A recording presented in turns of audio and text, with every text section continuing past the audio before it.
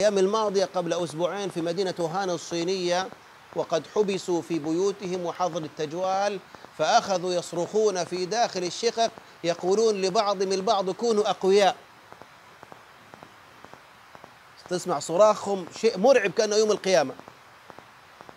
ناطحات سحاب skyscrapers كل السكان يصبرون بعضهم بعضا بإيش؟ بالصياح. خلكم أقوياء خلكم أقوياء خلكم أقوياء نقول وهذا الصيح إنما يدل أنهم ميتون في داخل إيش؟ أنفسهم. ميتون في داخل أنفسهم. لا تركضوا وارجعوا إلى ما أترفتم فيه ومساكنكم لعلكم لعلكم تسألون.